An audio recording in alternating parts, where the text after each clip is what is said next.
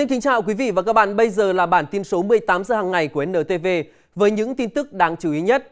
Nguy cơ bùng phát dịch một lần nữa lại hiện hữu khi sáng nay, Nghệ An ghi nhận 13 ca nhiễm cộng đồng trên địa bàn thị xã Cửa Lò và huyện Ghi Lộc do có ca bệnh liên quan đến chợ buôn bán thủy hải sản nên thành phố Vinh đã lập tức triển khai test nhanh kháng nguyên, qua đó sàng lọc phòng chống dịch COVID-19 cho ba nhóm đối tượng kinh doanh thủy hải sản tại các chợ dân sinh đã được mở cửa. Theo thống kê ban đầu, toàn thành phố Vinh có khoảng 360 tiểu thương thường xuống thị xã Cờ Lò để lấy hải sản về bán tại các chợ trên địa bàn. Trong sáng nay, thành phố Vinh đã triển khai test nhanh kháng nguyên toàn bộ các tiểu thương tại chợ. Kết quả test nhanh bước đầu tất cả đều âm tính.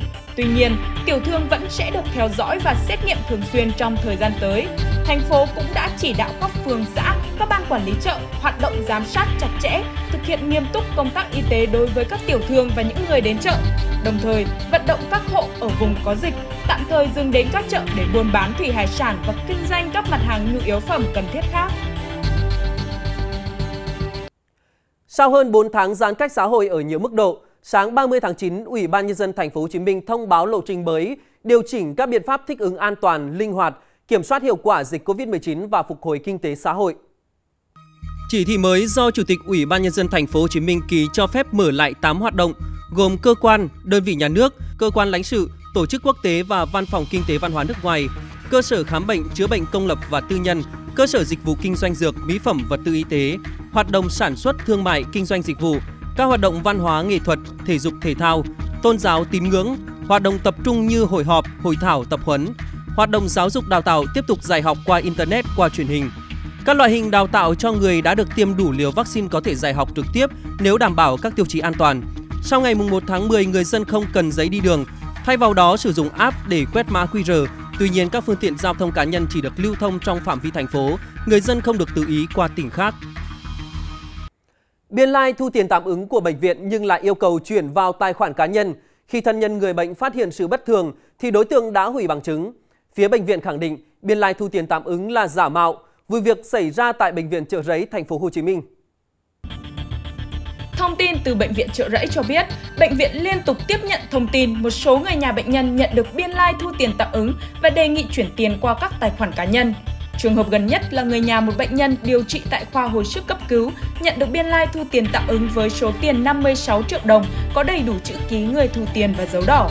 Sau khi nhận biên lai, người nhà bệnh nhân tiếp tục nhận được tin nhắn đề nghị chuyển tiền qua tài khoản cá nhân. Tuy nhiên, khi thân nhân bệnh nhân thắc mắc hỏi lại thông tin thì kẻ mạo danh đã xóa tin nhắn chứa thông tin tài khoản hoặc chậm tương tác. Bệnh viện khuyến cáo người bệnh và thân nhân nâng cao cảnh giác, đồng thời khẳng định không gửi biên lai thu tiền hay biên lai tạm ứng qua bất kỳ nền tảng mạng xã hội nào. Trong nhiều ngày qua, rừng phòng hộ thuộc tiểu khu 277, đầu nguồn Thác Trắng, huyện Minh Long, Quảng Ngãi liên tục bị một số đối tượng lén lút khai thác trái phép. Đến nay, tình trạng này vẫn chưa được giải quyết dứt điểm. Theo thống kê, huyện Minh Long có 9.789 ha rừng phòng hộ, hàng loạt cây gỗ lớn có đường kính từ 40 đến 60 cm bị các đối tượng triệt hạ không thương tiếc. Trên các thân gỗ bị đốn hạ, nhiều vết cưa vẫn còn khá mới.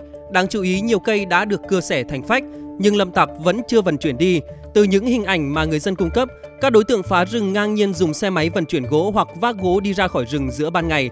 Đại diện trạm quản lý bảo vệ rừng huyện Minh Long cũng thừa nhận tình trạng khai thác rừng trái phép có diễn ra. Các cây gỗ bị chặt hạ chủ yếu là sến, trò, rẻ, gõ.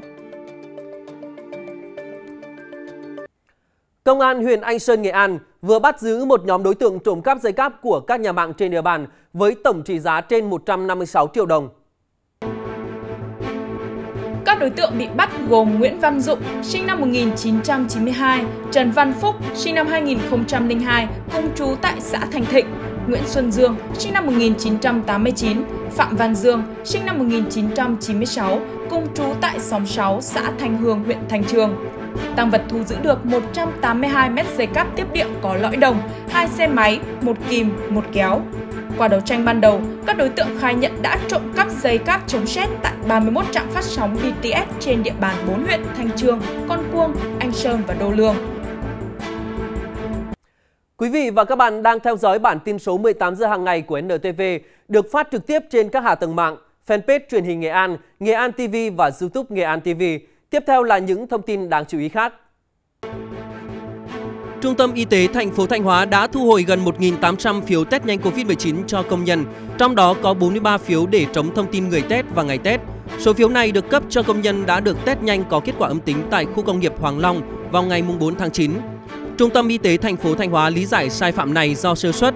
Ủy ban nhân dân thành phố Thanh Hóa đã chỉ đạo Trung tâm Y tế thành phố, bác sĩ Trịnh Anh Thơ, phó giám đốc trung tâm, ba tổ xét nghiệm tại khu công nghiệp Hoàng Long kiểm điểm trách nhiệm trong quá trình thực hiện nhiệm vụ.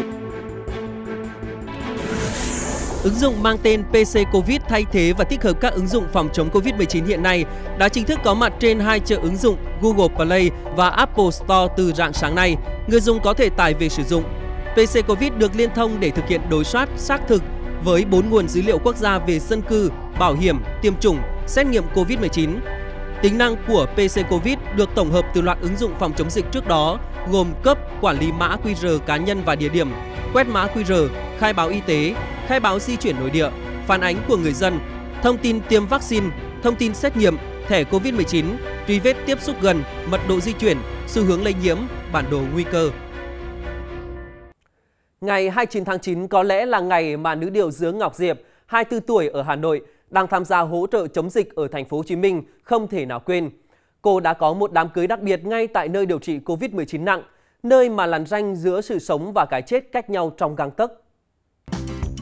Cô dâu Đỗ Thị Ngọc Diệp, quê Nam Định, sinh năm 1997, là điều dưỡng bệnh viện Bạch Mai, vào thành phố Hồ Chí Minh chống dịch tại bệnh viện giã chiến số 16 gần 2 tháng nay.